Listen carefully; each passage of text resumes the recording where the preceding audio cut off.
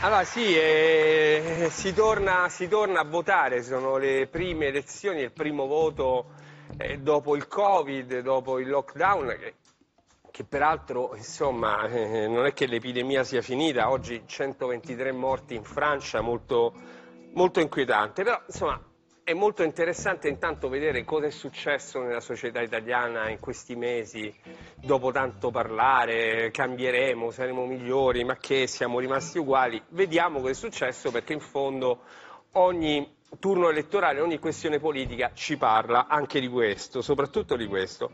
E poi il voto è una questione, una questione che, intanto faccio una citazione che credo Diego piacerà, è una questione di centimetri, diceva il presidente della Roma Dino Viola, il presidente dello scudetto del 1983 perché diceva il gol di Turone era stato annullato in fuorigioco che non c'era, il gol di Brio della Juve invece era stato convalidato e quello invece era un fuorigioco. Questione di centimetri, polemicamente con gli arbitri che giudicavano questi centimetri.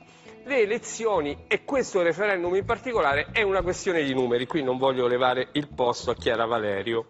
Perché è una questione di numeri? Perché siamo, sembrano gli schemi dei, del calcio 4-2, 5-1, 3-3. Allora cerchiamo di fare chiarezza. 3-3 le regionali, un pareggio, tre al centro-destra, tre al centro-sinistra.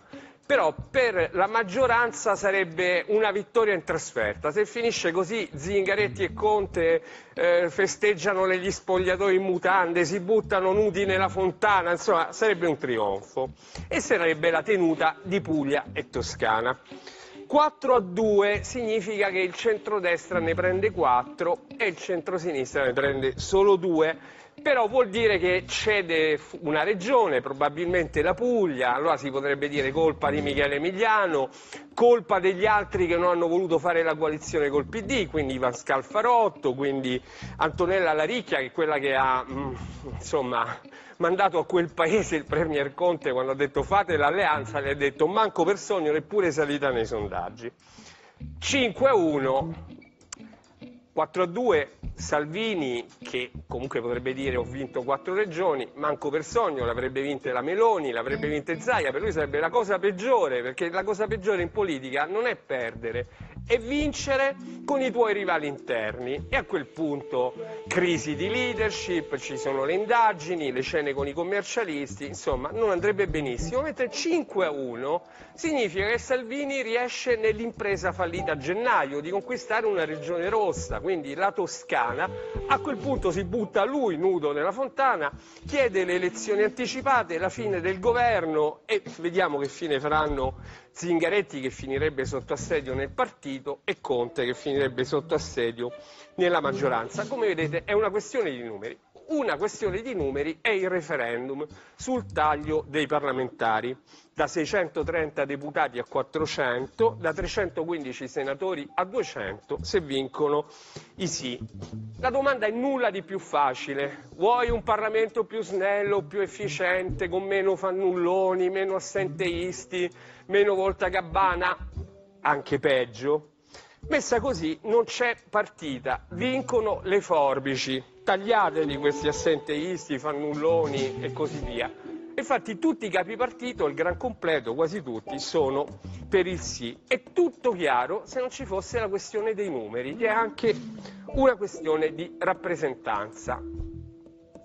In America, quando nacque la democrazia americana, eh, c'era questa questione dei numeri. A un certo punto fecero addirittura la cosiddetta clausola dei tre quinti. Cosa vuole dire? Che uno schiavo valeva tre quinti di una persona libera e quindi gli stati schiavisti del sud avevano più voti perché gli schiavisti valevano anche quanto gli schiavi che naturalmente non potevano votare.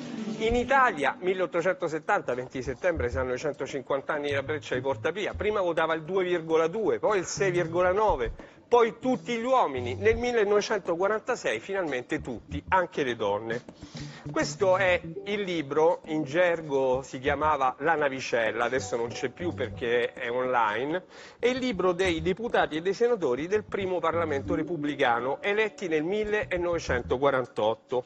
Alicata Mario, gruppo parlamentare comunista, è nato a Reggio Calabria il 9 maggio 1918, laureato in lettere, è entrato nel 1940 entra in contatto con i, partiti, con i gruppi antifascisti, passa nelle file del Partito Comunista, arrestato nel 1942 e deferito al Tribunale Speciale dello Stato. E poi c'era subito, nella pagina successiva, Almirante Giorgio, che invece era fascista, si era arruolato nella Repubblica Sociale Italiana. E poi Amendola Giorgio, comunista, e Giulio Andreotti, Andreotti Giulio, del gruppo parlamentare democristiano. Insomma, in quel Parlamento c'era tutto, c'erano anche i fascisti, anche i monarchici, perché il bello del Parlamento è che se vincono i democratici ci sono anche gli antidemocratici. Il contrario l'abbiamo visto sempre molto meno, anzi non l'abbiamo eh, visto mai, ma perché prima si pensava di una riforma, ma questa riforma, questo Parlamento, include o esclude? Include o esclude? Rappresenta o non rappresenta? Oggi invece si discute, è il tema del referendum di domenica, di tagliare gli eletti, i deputati e i senatori. Nel frattempo si sono autotagliati gli elettori, prima votava il 90%, oggi vota a malapena il 70% e infatti nelle elezioni si parla molto poco di, di quello che succede nel paese, per esempio che vota in Puglia, ma si è parlato pochissimo di Ilva e di tanti altri stabilimenti in crisi e soprattutto non si è parlato, si, non si è parlato di quello che succede nel paese. Tre posti simbolo di questa settimana e di questi giorni. Colleferro, Willy Duarte, Acerra, Maria Paola Gaglione, speronata e uccisa dal fratello perché aveva un amore irregolare, ma tutti gli amori sono irregolari. E Como, dove è stato assassinato a coltellate Don Roberto Malgesini, un cane sciolto di Dio, a caccia di anime, ferite, irregolari, maledette. L'ha definito così in un'intervista molto bella di Gaia Tortora su questa rete, Don Marco Pozza, un altro prete di strada di Padova.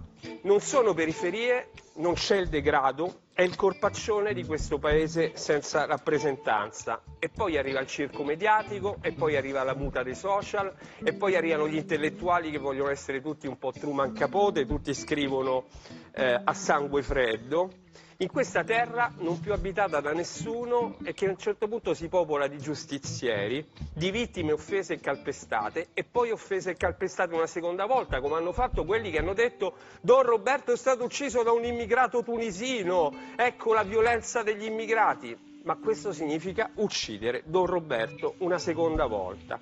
Nessuno racconta più questi posti e queste persone, nessuno li rappresenta e questa non è una questione di numeri, quindi torniamo a votare, buon voto a tutti, non so se vinceranno le forbici, ma so che verrà il tempo un giorno di ricucire.